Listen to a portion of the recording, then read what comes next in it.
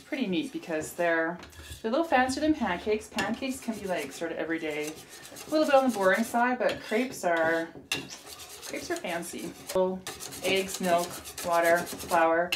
I have some melted butter, about a quarter cup, along with some salt and nutmeg and some vanilla. So this is the consistency you want.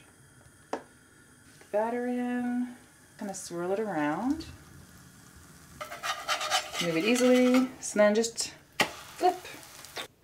All right, so now we're gonna plate the crepes. And then you can garnish with whatever berries are in season, fruit you like, or whatever fruit your mom likes. Just throw it on. And some kiwis for color. All right, and you can't have crepes without maple syrup. Then some whipped cream. A little dusting of icing sugar to make it all pretty. And here you have it, crepes for Mother's Day. Happy Mother's Day, moms.